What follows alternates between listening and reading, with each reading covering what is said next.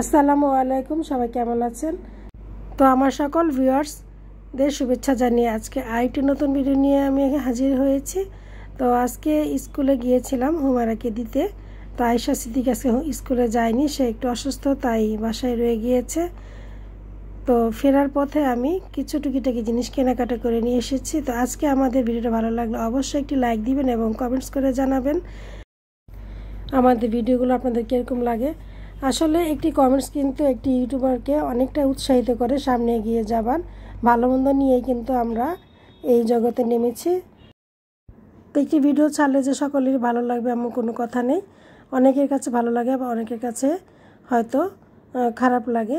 তো যাক, যাদের খারাপ লাগে তারাও একটা খারাপ কমেন্টস দিয়ে হলেও আমাদেরকে কমেন্টস করবেন। তাহলে আমরা বুঝতে পারব কোথায় আমাদের মানে কমতি আছে বা আপনাদের ভালো লাগে না। তো এই যে বাসা চলে এসেছি। তো এগুলো রেখে এখন হাত মুখ ধুয়ে একটু খাওয়া দাওয়া করে নিব। দুপুরের খাওয়া আস্তে আস্তে আমার একটু দেরি হয়ে গিয়েছে। তো কী কী কিনেছি সেটা এখন তো দেখাবো। তো কয়েকটি প্লাস্টিকের জার কিনেছি। মশলার জার মানে যে আমি হলুদ মরিচ রাখি, জিরার গুঁড়া রাখি, সেগুলো পুরনো হয়ে গিয়েছে। সেগুলোকে বাদ দিয়ে এখন আমি মানে নতুন করে আবার এগুলো তো ভরে নিব। তো দেখাতে গিয়ে একটি বইম আমার মাটিতে পড়ে গিয়েছিল, সেটা উঠিয়ে নিলাম। এই যে হচ্ছে আমার প্লাস্টিকের যে জারগুলো কিনেছি, তো একটার ভিতরে আরেকটি আছে, ছোট সাইজের আর একটা আছে সিঙ্গেল। এটা কিনেছি। তো আরেকটি এমনি নর্মালি একটা বয়ম কিনেছি। তো আর কিনেছি দুটি বেগুনের চারা আর একটি হচ্ছে অ্যালোভেরা। তো মাঝে মাঝে আমি অ্যালোভেরা এনে খাই শরীরের উপকারের জন্য। তো যাক খাওয়া দাওয়া করতে করতে এখন আয়সা সিদ্দিকে আর মনটা খারাপ, সে বাসায় একা একা বসে আছে, তাকে বাইরে নিয়ে যেতে হবে। তো এই যে বয়মের ভিতরে একটি বয়ম সাইজটা খুবই সুন্দর মানে জিরার ফাঁকি করলে সুন্দরভাবে রাখা যাবে বা যে কোনো গরম মশলা গুঁড়া টুড়া করলে রাখা যাবে। তো যেটি বলতে চাচ্ছিলাম, সে এখন কোথাও নিয়ে যেতে হবে তাকে, তার ভালো লাগছে না। তো বললাম, তো কোথায় যাব? চলো যাই। মাত্র বাসা আসলাম, তোমার যেতে মনটা এতই খারাপ, তাহলে চলো আমরা একটু ঘুরে আসি। আর বের হয়ে মনে হলো যে তো বাসার কাছে যেহেতু মেট্রো রেল আছে, তাহলে চলো আমরা দুজনে একটু সাহস করে দুজনে মিলে মেট্রো রেলে উঠে যাই। তো মেয়ে প্রথমে একটু ভয় পাইছিল যে, আম্মু, আমরা যদি না পারি করতে, তো চলো যাই। আল্লাহ ভরসা করে উঠে গেলাম মেট্রো রেলে টিকিট কেটে। তো এই যে আমরা দুজন যাচ্ছি কাছেই যাব, বাসার কাছে, বেশি দূরে যাব না। তো আমরা একটা ভুল করে ফেলেছি, যাব একদিকে মা, মেয়ে, চলে গিয়েছিলাম আরেক দিকে। তো এই হচ্ছে আমাদের মানে ভয়, এই জন্য আমরা একা একা রাস্তায় চড়ি না। একটু ভয়ই পাই চড়তে যে যদি আমরা দিক না চিনি, রাস্তা না চিনি, তাহলে তো সমস্যা হয়ে যাবে। তো যে আমাদের মেট্রো রেলে যাওয়া, যেখানে যেতে চেয়েছিলাম।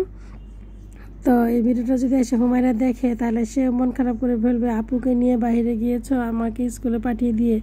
আসলে তো এটার জন্য প্রস্তুত ছিলাম না, মেয়ের মুখের দিকে তাকে তার মনটা খারাপ হয়ে গিয়েছে। তো আমরা স্টেশন থেকে নেমে মানে আমরা শুধু হাঁটতেছি হাঁটতেছি মানে আমরা অন্য দিকে চলে গিয়েছিলাম। আমরা বুঝতে পারিনি যে কোন দিকে গেলে আমরা যেখানে যেতে চেয়েছিলাম সেখানে যেতে পারব। তো হাঁটতে হাঁটতে হাঁটতে হাঁটতে অনেকটুকুই হাঁটলাম।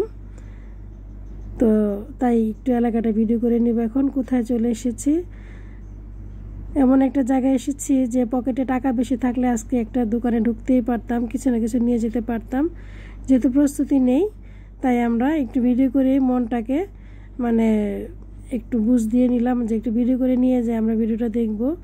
এ হচ্ছে আমাদের মানে ভুল ঠিকানা, আমরা এক জায়গায় যেতে চেয়ে আরেক জায়গায় চলে গিয়েছিলাম।